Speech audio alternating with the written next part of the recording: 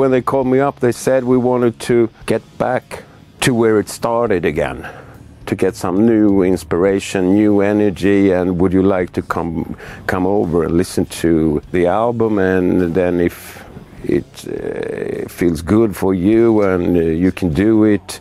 And, when, and the first time I went into the studio and I heard this new album, I said, probably let me give it a try immediately. And so we did.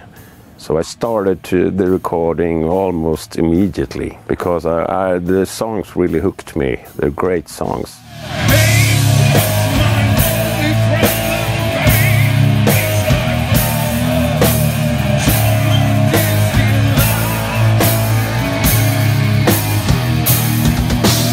When I came in, the album and the music and the lyrics, they were already written. The only thing I could do when I arrived was to put my my voice and my sound to it.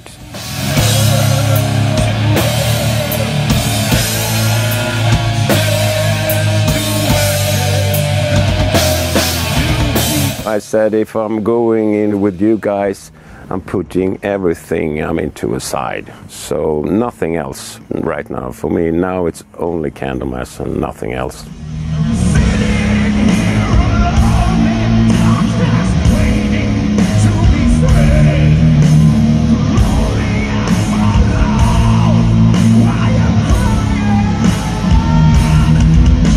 I was so young the very first time, but I think we did that album very fast. And I was young and I was thinking, wow, I'm going to do a record uh, with uh, the Candlemass guys. At that time, I was involved in my own band, but they wanted me to do the album. And it was a great thing for a young uh, singer to do.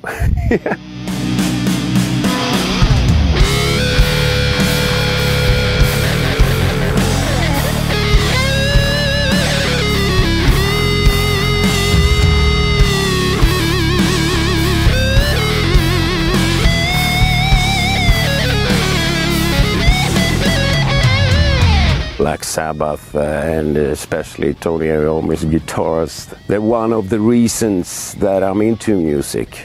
I've got them in my heart all the way. They've done so many amazing songs and I'm pretty sure that they will last forever.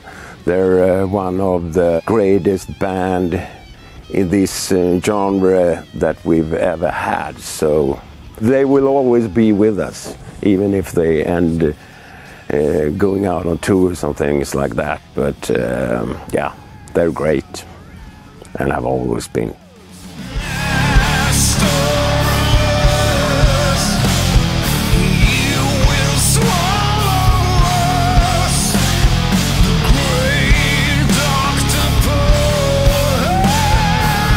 As long as we are having a good time and think that, well, we, lo- we love this I can't tell you or give you a promise on that, but uh, if I feel fine about it and if they do, there'll be another album. But there's nothing uh, in the plan, uh, planning state right now.